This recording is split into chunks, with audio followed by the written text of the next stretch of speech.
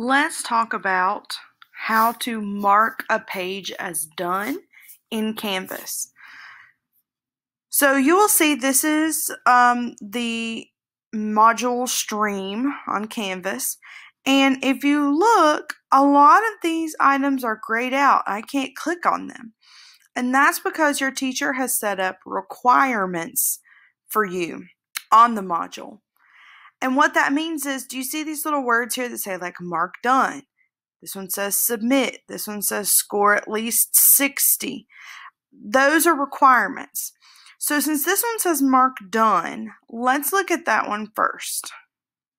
So when I click on this one, it gives me directions. So it wants me to watch the video. And then when I'm finished, I'm going to be able to click the button at the top of the screen that says mark is done. Here it is and then I'll be able to hit the next button. If I hit the next button right now to go to the PowerPoint, you're going to see it's going to tell me it's not been unlocked yet. I've got to meet the requirement beforehand. So I'm going to go back. I'm going to watch the video. And then when I'm done watching the video, I'll come back. So I finished watching the video and now I'm ready to mark this as done. So I'm just going to click this button that says mark as done. And you see how now it says it's a green check mark?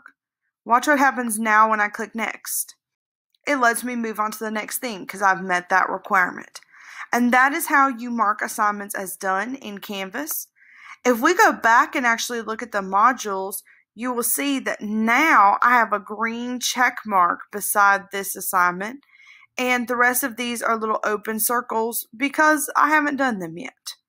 But as I do them, I'll get that green check mark. And if I hover over it, it says completed. So I know that I'm good to go.